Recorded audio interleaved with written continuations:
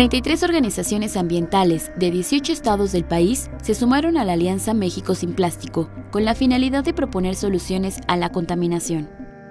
Esta iniciativa tiene como consigna generar incidencias en la legislación para prohibir la utilización de plásticos de un solo uso e impulsar una educación en torno al cambio de hábitos de consumo que dejen de considerar envases con ese tipo de material. La Alianza México sin Plástico resaltó que solo 22 estados del país cuentan con leyes para la gestión y prevención de residuos sólidos. De acuerdo con su reporte, el porcentaje de residuos que se recicla en México es muy bajo y la capacidad operativa para hacerlo es casi nula, lo que se suma a que muchos envases ni siquiera puedan ser reciclados.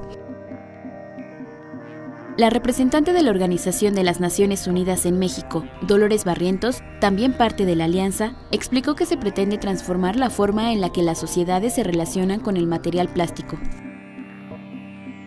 Según el informe de la Alianza México sin Plástico, es necesario transitar a una economía circular donde los envases, embalajes, envolturas y empaques tengan un mercado de reciclaje, ello sumado a la necesidad de eliminar los productos innecesarios.